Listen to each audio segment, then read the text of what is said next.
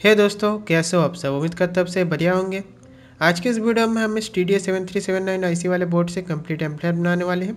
इस वाले बोर्ड को हम पहले बना चुके हैं। अगर आपको वीडियो देखना है तो आप इस आइकन पर क्लिक करके वो वीडियो देख सकते हैं। या इसी सिर्फ़ ज़ीरो बारह वोल्ट की सप्लाई यूज़ करके आपको thirty eight plus thirty eight watt output दे सकता है। और इस आईसी का नॉइज़ डिस्टोशन बिल्कुल ही कम है। फुल वॉल्यूम पे भी इसका कोई नॉइज़ नहीं आता है तो इसको हम बिना पोटेशियोमीटर के भी यूज़ कर सकते हैं और यहाँ पर भी हम बिना पोटेशियोमीटर के यूज़ करेंगे। इस वाले एम्पलायर में हम पहले कुछ इस तरीके के हीटसिंग लगाए थे, पर उसको चेंज करके अभी हम इसमें कम हाइट वाली हीटसिंग लगा दिए हैं, क्योंकि अभी हम इस बोर्ड को इस चार बाई चार के प्लास्टिक बॉक्स में लगाने वाले हैं। ये चार बाई चार के प्लास्टिक बॉक्स आपको किसी भी इलेक्ट्रॉनिक के शॉप पर मिल जाएगा। पर इस वीडियो को स्टार्ट करने से पहले मैं आपको एक छोटा सा इंट्रोडक्शन देना चाहता हूँ पीसीबी कॉम के बारे में। अगर आप घर पर पीसी बनाना नहीं चाहते और आप चाहते हाई क्वालिटी पीसीबी तो आप पीसीबी में विज़िट कर सकते हैं। यहाँ पर बस आपको अपना गर्बर फ़ाइल अपलोड करना होता है, उसके बाद आपको अपना पीसीबी सिलेक्ट करना होता है, जैसे कि पीसीबी के क्वांटिटी कलर थिकनेस स्किन उसके बाद आपको अपना लोकेशन सिलेक्ट करना होता है, अपना शिपिंग मेथड चूज़ कर लेना होता है. लगभग सात से दस दिन के अंदर अब तक आपका पीसी पहुँच जाएगा. वीडियो के डिस्क्रिप्शन पर आपको कॉम का लिंक मिल जाएगा. आप में से जो लोग इंटरेस्टेड है पीसीबी में आप विज़िट करके देख सकते हैं.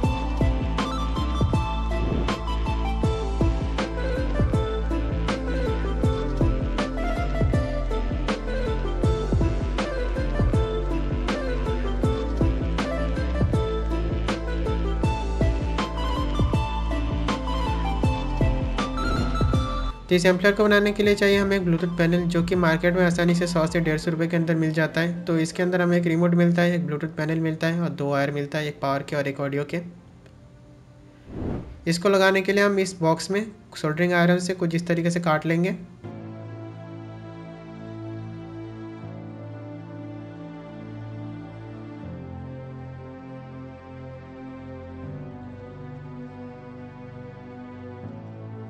उसके बाद आपको इसके किनारे के सरफेस को, आपको चाकू से कुछ इस तरीके से काट लेना है और अभी हम इस ब्लूटूथ पैनल को इसके अंदर लगा देंगे।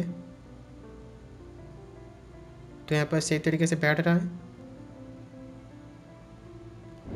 ठीक, उसी तरीके से हम इसमें स्पीकर कनेक्टर भी लगाने वाले हैं। तो इसको भी हम इसकी पीछे की साइड से मार्किंग कर लेते हैं। पेंसिल से या फिर आप मार्कर पेन भी यूज़ कर सकते हैं।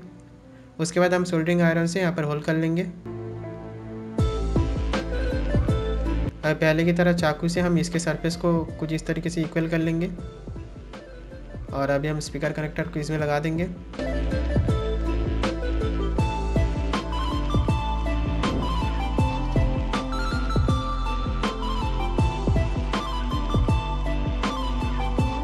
अभी हम इस बॉक्स में स्क्रू लगाने के लिए होल कर लेंगे।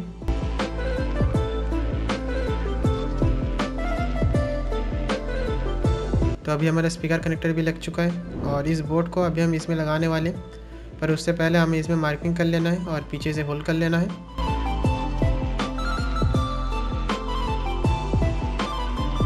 तो यहाँ पर हमने कुछ इस तरीके से यहाँ पर होल कर दिया है। पर अभी हम इस बोर्ड को यहाँ पर नहीं लगा सकते क्योंकि पीछे से हम इसका वायरिंग करेंगे और इस वाले स्विच और डीसी सॉकेट को भी हमें यहाँ पर लगाना है। तो यहाँ पर हमने इन दोनों को भी लगा दिया है कुछ इस तरीके से। और इस बोर्ड में ब्रिज रेक्टिफायर लगा हुआ है तो इसको हम डीसी में चलाने वाले हैं तो इसकी पावर कैपेसिटर से हम यहाँ पर वायर निकाल लेंगे।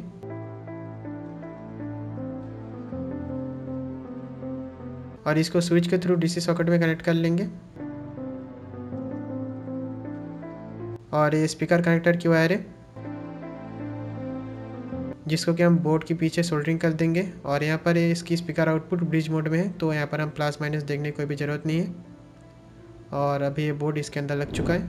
और ये पावर और ऑडियो के वायर है तो इनको भी हम यहाँ पर लगा लेते हैं, जो कि ब्लूटूथ पैनल से बोर्ड में जाएगा। और यहाँ पर हम कोई भी एडिशनल पोटेशियोमीटर यूज़ नहीं कर रहे, क्योंकि इस बोर्ड में नॉइज़ बिल्कुल ही कम है। हम यहाँ पर रिमोट या फिर स्मार्टफ़ोन की वॉल्यूम से ही इसका वॉल्यूम कंट्रोल कर सकते हैं।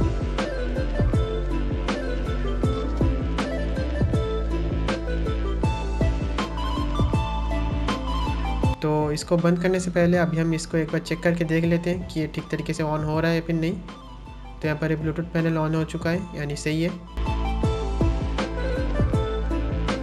और अभी हम इसके डीसी सॉकेट में ग्लू लगा लेंगे ग्लू गन की सहायता से, और अभी हम इसके ऊपर की प्लेट को लगा देंगे। तो यहाँ तक हमारा ये बोर्ड कंप्लीट हो चुका है। अगर कोई वीडियो पसंद आए तो वीडियो को लाइक कीजिए, शेयर कीजिए।